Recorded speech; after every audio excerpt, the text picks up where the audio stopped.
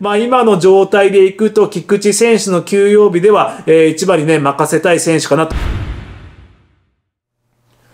お疲れ様です !KT です。今日は2月8日ということで、本日も KT チャンネルご視聴いただきましてありがとうございます。はい、というわけで本日から衣装が変わっております。えー、カープファングッズの中のですね、スタジアムジャンパー私ゲットいたしました。ということでどうですかね？めちゃくちゃかっこいいですよね。まあ、赤もですね、あの、本来カープが使用しているこの赤ではなくてですね、えー、ちょっとタウンユースでも使える落ち着いた色味の赤に、えー、なっておりますね。デザインもですね、ツートンで、まあ、ザ・スタジアムジャンパーというような形になっておりましてね、これはもう、えー、暖かくなるまで着続けようかなということで、めちゃくちゃかっこいいです。はい、で、デザインのね、ちょっと中身見ていきます。まあ、C はね、大きいロゴで C という風になっておりまして、ここにですね、日本チャンピオンということが、言葉が書かれておりまして、その下に、え数字、年数ですね、書かれております。なので、ここにですね、えー、次は2024なのか、2025なのかというところですね、ぜひとも新井監督に追加していただきたいなという風に思います。で、その下はセリーグチャンピオンということで、えー、9つですね、数字の方が載っております。まあ、最後のね、下の一番下の段には、えー、16、17、18という3連覇のね、時の数字が載っているというデザインになっております。で、後ろの方はね、まあ、こんな感じ、見えますかね。はい、ということで、えー、非常にね、おしゃれなスタイルとなっておりますんでね、もう本当にこれはですね、愛知県で着ていても全然、えー、格好のつくジャンバー、格好のつくっていうのはね、えー、言い方がちょっと悪いかもしれないんですけども、まああの、めっちゃカープやんっていう感じでもなく、おしゃれにね、あよく見たらカープやんぐらいの感じでね、えー、かっこよく着れるのかなというふうに思いますんで、もうこのね、ジャンバーを着ていたら、えー、冬よ、行くなと。えー、春よ来るなというようなね、ちょっと気持ちになってきます、きてしまいますけども、えー、そんなことは思っておりませんということで、開幕が待ち遠しい KT でございますということで、本日の2月8日の動画始めていきたいと思います。最後までお付き合いの方よろしくお願いいたします。はい、というわけで第2クール最終日という風になりました。今日も J スポーツで、えー、キャンプ観戦といいますかね、まあ、あの、見逃し配信ではありますけども、そちらを見て、えー、感想を喋っていこうかなという風に思います。で、達川さんとね、この足立さん、アナウンサーの足立さんの掛け合いというのがね、まあ、またね、非常に面白くて、えー、達川さんがちょっと中野さんのゴールデングラブについてね、えー、ちょっとね、暴走気味になったところ、えー、足立さんがもうこの辺にしときましょうか、みたいな感じで、ね、え、止めるシーンもありということで、非常にね、ほっこり、えー、見ておりました。はい、ということでね、まあ、第2クール最最終日ということことで、明日ね、また1日休んで、明後日から第3クールに突入ということなんですけども、まあ、こんだけね、実践が増えてきまして、本当に楽しくね、毎日キャンプ観戦しているんですけども、明日お休みというのも怖いですね。何しようかなということになってきますけどね、まあ、おとなしく金曜ロードショーでも見ようかなというふうに思っておりますけども、明日の金曜ロードショー何かな、えー、まだそこはチェックしておりません。はい、そして第3クールね、入るというところなんですけども、えー、ドラフト1位の常広投手、昨日ね、ブルペン入りしたということで、まあ、そこに新井監督とか藤井監督、藤井ヘッドコーチ、えー、それから笹岡前監督、アニヤさんと、えー、いった面も見守る中でというところだったんですけども、まあ十分ね、仕上がり順調ということで、えー、第3クールからの合流というところが明言されております。で、堀江投手もですね、まあこの後しっかり触れていくんですけども、えー、今日のライブ BP っていうのかな、シートバッティングっていうのかな、はい、そちらに登板してアピール成功ということで、堀江投手も第3クール1軍登録、1軍登録じゃない、えー、1軍合流ということになりましたんでね、まあ本当当に下からね、上がっていく選手にとっては、えー、数少ないチャンスを、えー、ものにしてアピールしてね、上がっていくしかないというところの中で、堀江投手がしっかりアピールしてくれたというのはですね、非常に嬉しいなというふうに思います。まあ、あの、本当にね、カープ唯一の欠点でありますね、唯一の欠点かな。はい、あの、左のちょっと中継ぎピッチャーがね、駒不足ということで、まあ、外国人投手のハーン投手とかね、まあ、その他ルーキー2人取ったりというところでですね、えー、補充は、人数的な補充はされているんですけどね、えー、まだじゃあ誰が勝ちパターンでね、緊迫した場面で使えるのかというところはね、不透明なところありますんで、その中の一人に、えー、加わってきた堀江投手、これも楽しみかなというふうに思います。はい、ということでですね、えー、今日の、えーキャンプ、えー、振り返っていきたいと思います、えー、まずはじめランチ特打でですね、えー、ルーキーの3名の方、えピッチャー登板しておりますと、えいうことになっておりますけども、えまずは高投手これはドラフトの順位でいったのかな？はい高投手からの登板ということで、えまあね全体的に見ておりますと完成度が高い。さらにはまだまだ伸びしろも感じると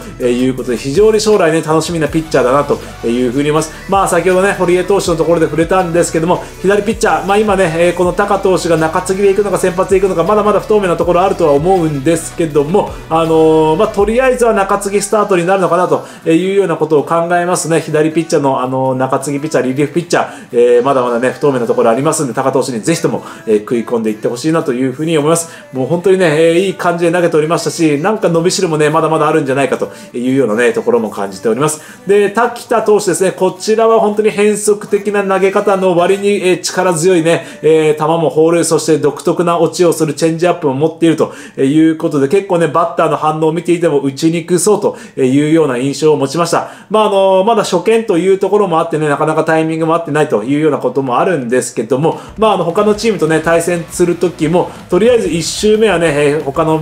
チームのバッターも嫌な感じなんじゃないかなというふうに思います。でその中で、え1周一通りね、えまあ、終わった後で、え2巡目に回ってくるところですね。まあどのようにね他のチームのバッターたちが、えー、対応、対策を取ってくるかなというところで、まあ、そこでね、進化が問われるのかなというような感じはしますんで、まずは一旦竹田投手使えるんじゃないかというような計算が立っております。はい、そして赤塚投手ね、ちょっとコントロールに苦しむところもあったのかなというふに思いますけども、まあ本当に体のスケールといいね、ロマンでしかないということで、もバッターでは末金、えー、ピッチャーでは赤塚といったね、この本当に大きな体をした、えー、新井監督よりも大きな体をした、えー、この2人も期待しておりますということです。はい、それではですね、えー、シートバッティングの方もね、確認していきたいと思います。今じゃライブ BP っていうのかな？はい、ということなんですけど、まずはじめ、コルニエル投手登板しておりますということで、本当にコルニエル投手申し訳ございませんでした。えー、私、忘れておりましたということで、まあ、存在を忘れていたわけではないんですけども、まあ、先発ローテ争いですね。まずは3本柱、森下投手、えー、床田投手、栗投手と、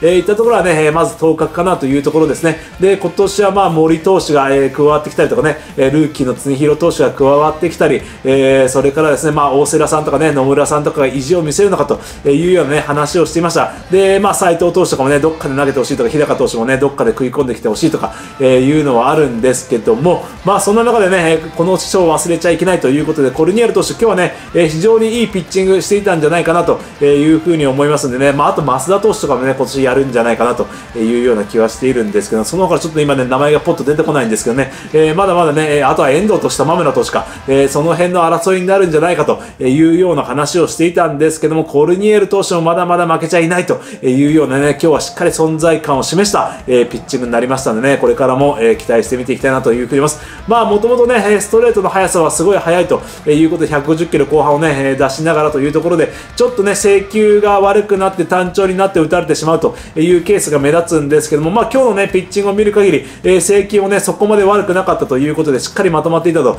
いういうことなんで、まあ、あの、ドミニカンからね、あの、アカデミーからしっかり、えー、一歩ずつ着実に成長してきてくれているなという印象を持ちました。はい、そして内間投手ですね、こちらは今日はちょっと制球に苦しむシーンがあったというところでですね、まあ、あの、まっすぐもちょっとね、外に外れたりとか、えー、狙ったところに行かないというような様子もありました。で、あの、いわゆるアジアのツーシーム、あの、スプリットみたいに落ちる変化なんですけども、そこはですね、結構ベース板の手前の方でね、ワンバンしてしまうというところで、まっすぐも変化球もちょっと制球に苦しむ姿があったんですけどね、まあ、そこでいくと、えー、坂倉選手がですね、しっかりブロッキング、キャッチング、えー、まあ、ブロックでね、前に落とすだけでではなくて、えー、しっかりね、キャッチするというシーンもありましたんで、まあ、昨日ね、ちょっと石原選手がパスボール2つというところで悪いところが目立ってしまったんですけども、まあ、去年1年間ね、1軍で経験した高倉選手、えー、その辺の安定感をね、しっかり見せてくれたということになりますんでね、まあ、ちょっと内間投手は苦しんだんですけども、その分、えー、坂倉選手のいいところが見れたと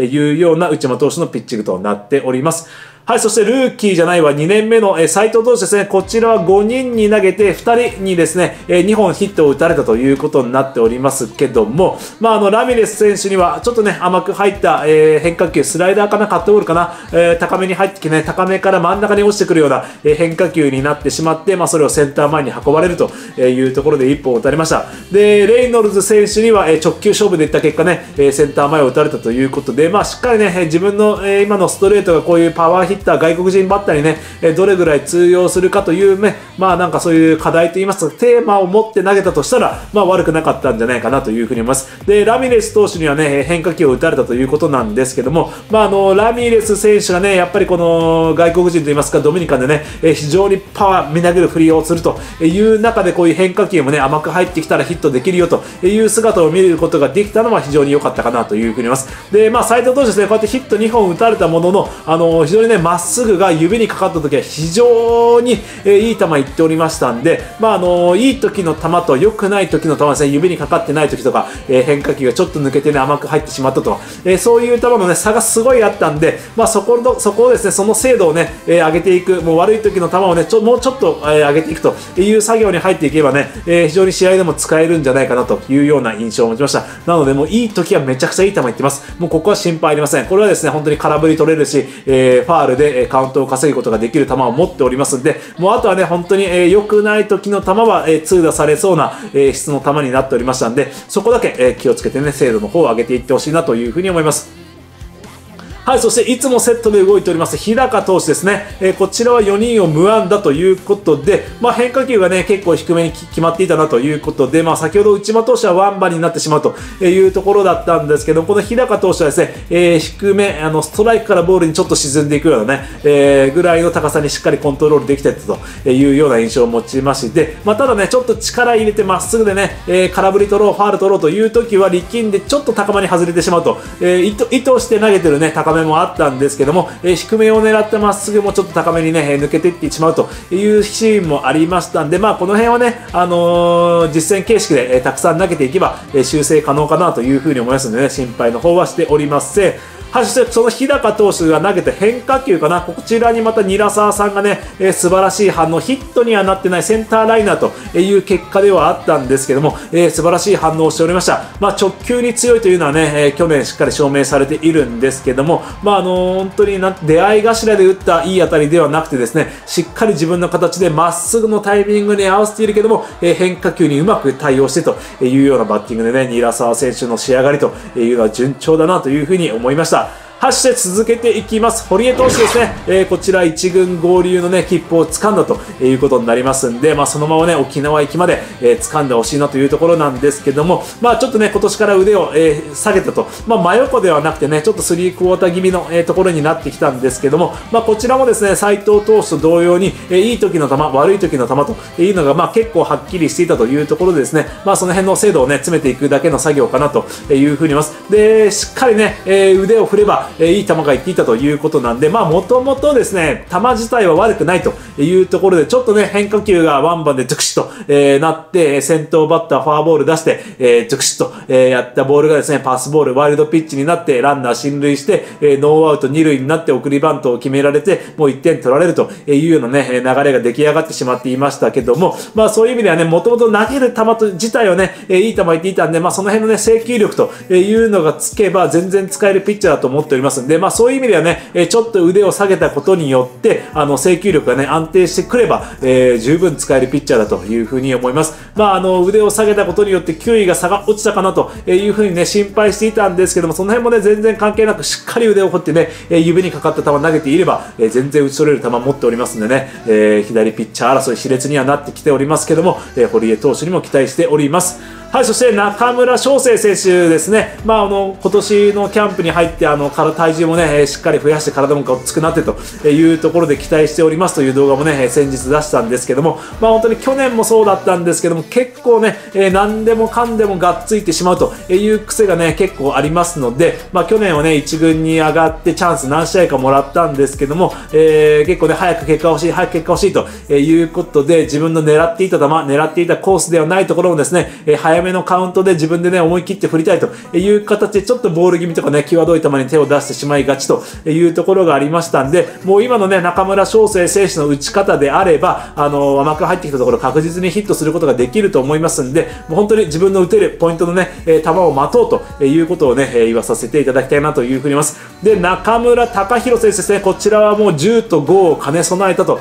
いうところでですね、まあ、本当に技ありのヒットありと、それからあの思い切ったね、フルスイングありということでですね、まあ、あの、達川さんもちょっと柳田選手にね、ソフトバンクの柳田選手に例えておりましたけども、まあ、柳田選手は、あの、左のね、変則ピッチャーが来たら、宮西さんとかかな、えー、来たらホームランを狙わずにね、単打を狙いに行くというようなね、ことは達川さんおっしゃっていたんですけども、まあ、自分の印象でいきますと、追い込まれるまでは本当にね、スイング、あのー、ヘルメットが落ちるぐらいのね、フルスイングをして、え、ただ追い込まれたらセンター前にバーンと、えー、綺麗にね、クリーンヒントを放すという印象をね、あの、柳田選手の若い頃イメージを持っていたんですけども、まあ、まさにね、それに近づいてきているかなというようなね、感じをしております。中村武宏選手。もうフルスイングした時はね、本当にどこまで飛ばすんじゃというようなスイングするんですけども、で、追い込まれた時にはですね、しっかりあの、バッティングを切り替えてですね、あの、センター中心にですね、あの、軽打に変えるということで、まあ、あの、あとは、あの、フルスイングした時の、えー、ミート率といいますかね、確実性を上げていけば、あの、ホームランとかね、長打も増えてきますし、で、追い込まれてからは、ちょっとね、ミートに切り替えてというところで率を残せるようになればですね、これはもうレギュラー近いかなと